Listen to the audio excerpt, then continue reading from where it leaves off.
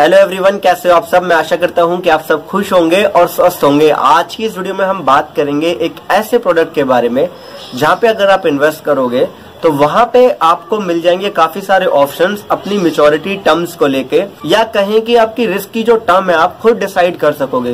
क्योंकि जिस प्लान के बारे में मैं आज आपको बताने वाला हूँ, उसमें आपको शॉर्ट टर्म के लिए भी रिस्क कवर मिलता है और मीडियम कैटेगरी के लिए भी रिस्क कवर आपको मिलता है और उसी प्लान के अंदर आपको लॉन्ग टर्म के लिए भी रिस्क कवर मिलता है। उसी तरीके से शॉर्ट टर्म के लिए बेनिफिट मिड कैटेगरी के लिए बेनिफिट एंड लॉन्ग टर्म के लिए बेनिफिट आपको मिलता है। अधिकतर हमने जिन प्लान के बारे में अभी भी बात करी है, वहाँ पे हमें 16 साल लगातार पे करना है, तब पच्चीसवें साल पे मेचोरिटी मिल रही है। लेकिन आज एक कन्वेंशनल प्लान मैं आपको बताने जा रहा हूँ, जिसमें ऐसी कोई भी झंझट आपको बिल्कुल फेस नहीं करना पड़ेगा। इवन दो अगर आप फाइनेंशियल प्लानिंग कर रहे हो और आपकी एज अट्ठारह साल से लेके फोर्टी फाइव ईयर्स की है तो आपके लिए एकदम बहुत अच्छा ऑप्शन होगा। क्योंकि आजकल एकदम ट्रेंड में है कि हम लोग क्या चाहते हैं कि हम एक ऐसा इंश्योरेंस प्लान चाहते हैं जहाँ पे हमें कम समय के लिए इन्वेस्ट करना पड़े और मैक्सिमम टाइम के लिए हमें वहाँ पे बेनिफिट मिले रिस्क कवर मिले। तो यही ऑप्शंस मैं आपको बताने वाला हूँ। तो जानने के लिए वीडियो को एंड तक ज़रूर देख। और अगर आप नए हो तो चैनल को सब्सक्राइब करो बेल आइकन पे क्लिक करो, क्योंकि आपको यहाँ पे मिलती है फ्री की फाइनेंशियल एडवाइस और इसके साथ ही आपकी सुविधा के लिए मैंने डिस्क्रिप्शन में ऑलरेडी काफ़ी सारी वीडियोस के प्लेलिस्ट के लिंक मैंने आपके साथ शेयर किए अगर आप उनको जाके देखते हो तो आपको पता चल जाएगा मैं ऐसा क्यों कह रहा हूँ।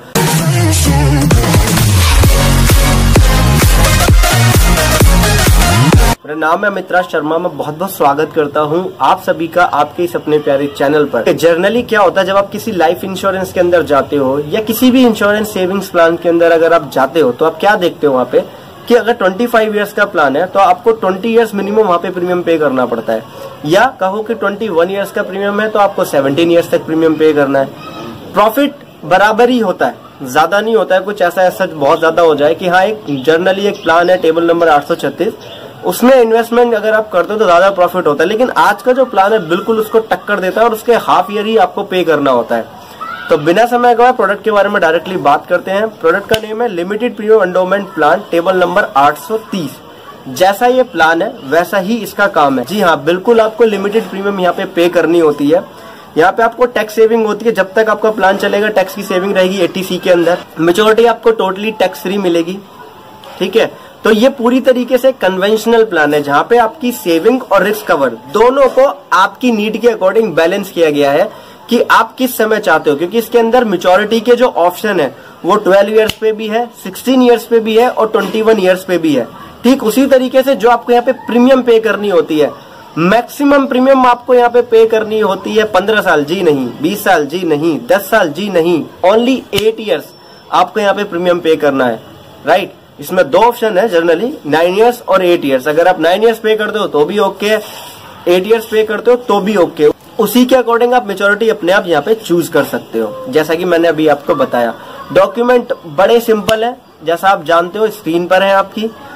अब इसका शमर शॉर्ट की अगर बात करें तो इसमें मिनिमम शमर शॉर्ट जो है वो थ्री लैख से स्टार्ट होता है। मैक्सिमम कोई लिमिट नहीं है। डिपेंड ऑन योर इनकम और इसके साथ अगर हम बात करते हैं यहाँ पे कि इसमें लोन की फैसिलिटीज़ का क्या ऑप्शन है? इसमें सरेंडर वैल्यू कम मिल पाती है? या कहें कि डायरेक्टली की मनी लिक्विडिटी का कैसा ऑप्शन है? देखिए मनी लिक्विडिटी का अदर प्लान से बेटर ही है। कैसे? अदर प्लान के अंदर आपको थ्री ईयर तक प्रीमियम पे करना होता है लोन या सरेंडर के लिए। यहाँ पे ओनली टू ईयर्स आपको पे करना होता है राइट और इसके साथ में एक चीज़ और है कि मान लीजिए आपने डिसाइड किया कि आप नाइन ईयर्स तक प्रीमियम पे करेंगे और ट्वेंटी वन ईयर्स पे आप मेचोरिटी लेना चाहते हो। Suppose for an example right तो ऐसे में क्या होगा? आपने नाइन ईयर्स मान लीजिए प्रीमियम पे कर लिया और उसके बाद अगर आप लोन के लिए जाते हो, दसवें ईयर में या ग्यारहवें साल में तो ऐसे में आपकी जो पेड अप वैल्यू है, उसका 90 परसेंट तक आपको लोन मिल सकता है। जबकि अदर प्लान के अंदर क्या होता था, जो आपकी पेड अप वैल्यू होती थी, उसका 80 परसेंट तक मिल पाता था। बट अगर आप पाँच साल प्रीमियम पे करने के बाद या दो साल प्रीमियम पे करने के बाद में लोन के लिए अप्लाई करते हो तो पेड अप वैल्यू का आपको 80 परसेंट तक लोन मिल पाएगा। सरेंडर वैल्यू वही आप जानते हो कॉमनली इस वाली वीडियो को जाके देख लेना। जनरली सभी प्लान में लगभग लगभग सेम सा ही है। अब अगर हम बात करें यहाँ पे डेथ बेनिफिट की, जैसा कि आप जानते हो जनरली कि अगर आपने प्लान अभी आपका स्टार्ट हुआ है और स्टार्टिंग में ऐसा कुछ हो जाता है तो ऑब्वियस सी बात है कि आपने प्रीमियम पे करा है। अगर आपने टर्म राइडर नहीं लिया है तो जो प्रीमियम आपने पे किया होगा, वो आपको मिल जाएगा पॉलिसी बंद हो जाएगी। बट अगर आपने टर्म राइडर लिया होगा तो ऑब्वियस सी बात है जो टर्म राइडर का जो अमाउंट होगा, वो मिल जाएगा आपको और आपका प्रीमियम भी वापस मिल जाएगा। अब बात करते हैं टर्म राइडर नहीं है, लेकिन डीएबी राइडर लिया हुआ है और तीन साल के बाद ऐसा कुछ होता है और एक्सीडेंट से होता है। तो डीएबी के बारे में बता देता हूँ, जिसको हम दैट एडिशनल बेनिफिट बोलते हैं, जिसमें अगर एक्सीडेंट से अगर डेथ वगैरह कुछ ऐसा हो जाता है बाई चांस तो उसका शमर शॉट के जितना वैल्यू होता है, वो भी आपको मिलता है शमर शॉट के साथ। तो ऐसे में आपका रिस्क कवर डबल हो जाता है। उसका कैलकुलेशन अभी आपको मैं दिखाऊँगा एंड तक वीडियो को देखते रहना। अब बात करते हैं मेच्योरिटी की। मेच्योरिटी पे आपको आपका sum assured bonus and finalization bonus आपको मिल जाता है। फाइनलाइजेशन बोनस के बारे में अगर जानना चाहते हो तो ये वीडियो जाके देख लेना। इसमें मैंने बताया हुआ है इन्फॉर्मेशन भी शेयर की हुई है। तो इस प्लान के बारे में हम बात क्यों कर रहे हैं? इस प्लान के बारे में हम इसलिए बात कर रहे हैं, अगर आपकी एज 18 से लेके 45 साल के बीच में है और आप इस वीडियो को देख रहे हो तो आपके लिए ये अब तक का एलआईसी की तरफ़ से मैं कहूँगा कि एक one of the best option available है। अगर आप एक ही इंश्योरेंस प्लान चाहते हो, वो भी सेविंग पर्पज से चाहते हो ओनली तो टर्म राइडर के साथ आप इस प्लान को ले लो, ये सबसे बेस्ट ऑप्शन आपके लिए रह सकता है। वैसे तो सिक्योरिटी के पर्पज से एलआईसी का जीवन लक्ष्य बेटर कोई प्लान है नहीं, अगर आप सिक्योरिटी को मद्देनजर रखते हैं तो। बट अगर आप सेविंग और रिस्क कवर का कॉम्बिनेशन देखते हो तो ये प्लान सबसे ज़्यादा बेस्ट है। क्यों? अगर आपकी उम्र मान लीजिए 20 या 25 साल की है और आप इस प्लान में आ जाते हो तो आपको प्रीमियम टर्म यहाँ पे सिलेक्ट करना नाइन ईयर्स तो नाइन ईयर्स तक अगर आप प्रीमियम पे करोगे तो आपके ऊपर आने वाले, जब तक की आपकी अपकमिंग जनरेशन आएगी, तब तक आपकी मेच्योरिटी के चांसेस भी आ जाएँगे। और इसका अदर बेनिफिट क्या है? अगर आप इसकी मैक्सिमम टर्म को सिलेक्ट कर लेते हो 21 ईयर्स का मेच्योरिटी और 9 ईयर्स का प्रीमियम अगर आप सिलेक्ट कर लेते हो तो यहाँ पे जो आप अमाउंट पे करोगे, जितना रिटर्न आपको जीवन लाभ या अदर किसी प्रोडक्ट में मिलता है, उसके आसपास रिटर्न आपको इसमें भी मिलता है। मतलब जो आप अमाउंट पे करोगे, उसका आप मल्टीप्लाई थ्री से कर लेना, वो रिटर्न आपको मिल जाता है। जैसा कि अभी आप स्क्रीन पे देख रहे हो, हमने यहाँ पे समर शॉट सिलेक्ट किया हुआ है ऑलरेडी देख रहे हो आप यहाँ पे।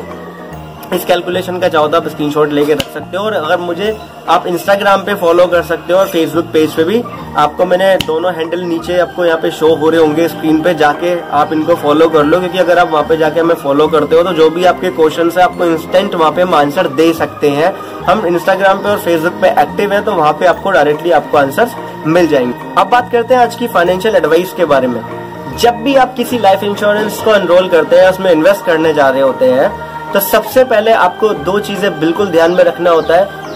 आपकी इनकम का कितने परसेंटेज आप इन्वेस्ट कर सकते हो? नंबर वन नंबर टू जो आपकी एज के अकॉर्डिंग आपको कौन सा प्लान प्रॉफिट दे रहा है?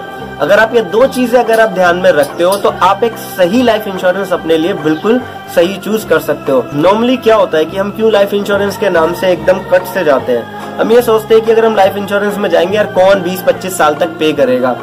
लेकिन लाइफ इंश्योरेंस का मतलब ही ये होता है कि वो लॉन्ग टर्म के लिए आपको रिस्क कवर दे, ना कि दो, तीन, चार, पाँच साल या दस साल के लिए। राइट आप लाइफ इंश्योरेंस लेते क्यों हो? लाइफ इंश्योरेंस में क्यों मनी लगाते हो? ओनली सेविंग के लिए? ऐसा तो बिल्कुल भी नहीं है, क्योंकि सेविंग के इतने सारे ऑप्शंस अवेलेबल है। आपको खुद अगर सेविंग करनी है तो आपके पास पीपीएफ ऑप्शंस अवेलेबल है। इस वीडियो को जाके देखो, पूरी डिटेल मिल जाएगी। अगर आप वन टाइम इन्वेस्टमेंट करना चाहते हो तो आपके पास में ऑप्शंस अवेलेबल है, जीवन शांति या अदर बहुत सारे ऑप्शंस अवेलेबल है म्यूचुअल फंड्स अवेलेबल है। बट हम इंश्योरेंस में क्यों जाते हैं? क्योंकि हम चाहते हैं कि हमें लॉन्ग टाइम तक के लिए एक ऐसा ऑप्शन मिल जाए, जहाँ पे मनी तो सेव हो, लेकिन मेचोरिटी जो मिले वो टैक्स की लाइबिलिटी के बिना मिले मतलब कि टैक्स फ्री मिले। के साथ हम ये भी चाहते हैं कि कल को अगर हमें कुछ हो जाए तो हमारा पैसा मरे नहीं। तो ऐसा ऑप्शन हमें मिलता है सिर्फ़ लाइफ इंश्योरेंस में, और उसके लिए भी हम कंपनी का बैकग्राउंड हमें हमेशा चेक करना चाहिए कि कौन सी कंपनी का बैकग्राउंड कितना अच्छा है, या उसकी मैन्युपली कितनी अच्छी है, कितने टाइम से मार्केट में उस ज़रूरी बात की उसका जो क्लेम रेशो है वो कैसा है, उसके लिए आप इस वीडियो को देख लेना, सबका क्लेम रेशो आपको यहाँ पे पता चल जाए इस प्लान के अंदर आपको फैसिलिटी अवेलेबल क्या है कि आप लॉन्ग टर्म के लिए रिस्क कवर ले सकते हो, लेकिन शॉर्ट टर्म के लिए प्रीमियम पे करोगे। ट्रेडिशनल प्लान से बिल्कुल भी अलग। अगर वीडियो अच्छा लगा है तो लाइक ज़रूर करो और शेयर तो ज़रूर करो, क्योंकि ज़्यादातर लोग फाइनेंशियल क्राइसिस अपने आप बुलाते हैं, क्योंकि उनके पास में नॉलेज नहीं होती है। मतलब सही नॉलेज नहीं होती है, इसलिए वो फाइनेंशियल क्राइसिस को खुद ही इनविटेशन दे लेते हैं। तो इसलिए वीडियो को आप ज़्यादा से ज़्यादा शेयर करें। और चैनल को सब्सक्राइब करें। चलता हूँ, विदा लेता हूँ आपसे। अब मिलता हूँ अगली वीडियो में। तब तक के लिए खुश रहिए, मुस्कुराते रहिए। जय हिंद, जय भारत।